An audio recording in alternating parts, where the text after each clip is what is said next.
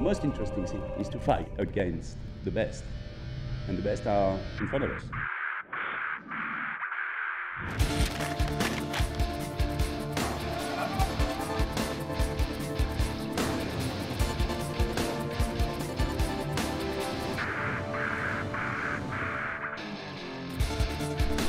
Always the limit, so you have to push it. Was like a sea monster grabbed the bow and pulled the bow down, heard the pole cracking. That was all on. It was ridiculous.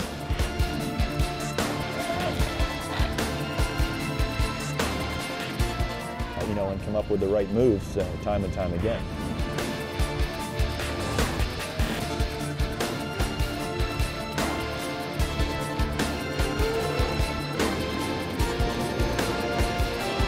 This is Formula One on sea. And the most exciting thing I've seen for a very long time.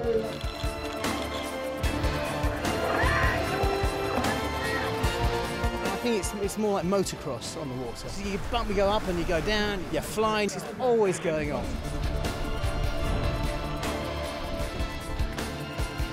It took a lot of risk, but uh, it was the, the good game.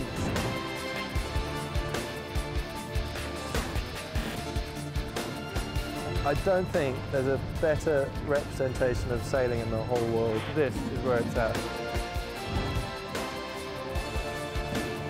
We pushed the limit hard and a couple of times maybe slightly too hard and we got away with it. It's good fun.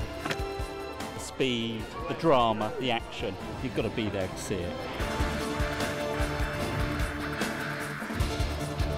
Recovering from a couple of fairly near misses, I think. We were right in there. You sort of think, well, this is going to go one of two ways. Unfortunately, it went the right way. Boats on the beach, guys nearly flipping over. It was just gnarly.